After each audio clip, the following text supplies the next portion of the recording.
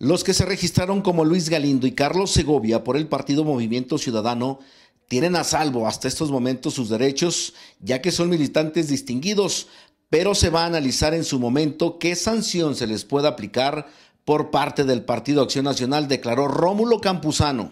Son todavía miembros activos del Partido Acción Nacional, de hecho, pues son, son militantes eh, distinguidos, vamos a llamarlo de esa manera, ¿no? Pues eh, han sido candidatos en varias ocasiones. Pero bueno, es un hecho que ellos aceptaron registrarse por otro partido político con quien nosotros tenemos una alianza nacional.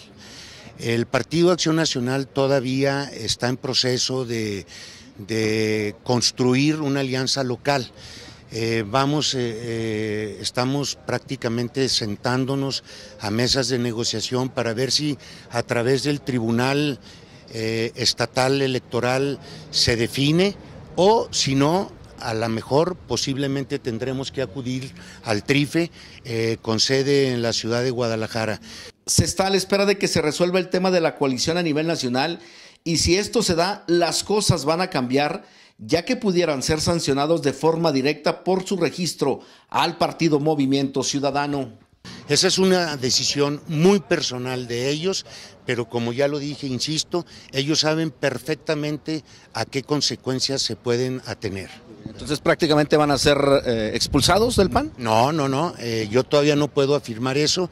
El procedimiento para que esto suceda lleva, lleva eh, el pasar por diferentes órganos, primero por la Comisión de Orden, pero insisto, ellos hasta este momento están libres eh, de cualquier eh, señalamiento, puesto que nosotros estamos construyendo una alianza.